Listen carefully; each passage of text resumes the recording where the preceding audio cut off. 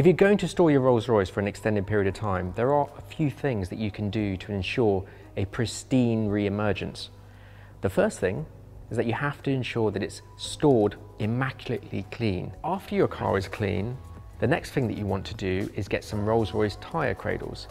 Now tyre cradles are very simple flat platforms made of foam that also contain very dense material, which means that when your car drives onto it, it will ensure that your tyres do not, over an extended period of storage, generate flat spots.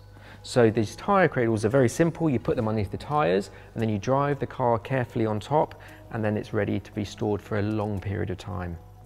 The Rolls-Royce battery conditioner will ensure an optimum level of charge over your battery. It revives, it recharges, and it conditions your battery over a long period of time. It works very simply.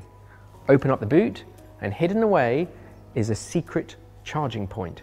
You connect via magnetic coupling, and then you close the boot on top of the wire, and then the battery conditioner will actually do its job and it will run indefinitely and ensure that your battery is in pristine condition when you're ready to go for a drive.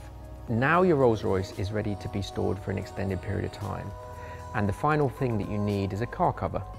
Now we sell bespoke car covers. The one that I'm going to be using is for interiors only. We also have exterior ones. But the interior car cover is very, very tightly fitted and bespokely designed for your model. It fits like a glove, which means that you need a friend to help you put it on. And when you're putting it on, there's a very helpful little label at the front that says front.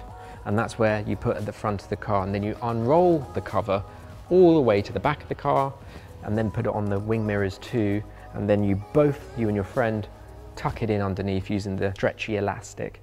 And when you look back at it, it's actually a really rather beautiful silhouette of your Rolls Royce. We do them in 18 colors, but we also allow you to do special monograms or your own initials on them just to give that little bit more personalization because we're Rolls Royce. And those are the things that we recommend you do when you want to store your Rolls Royce for a long period of time.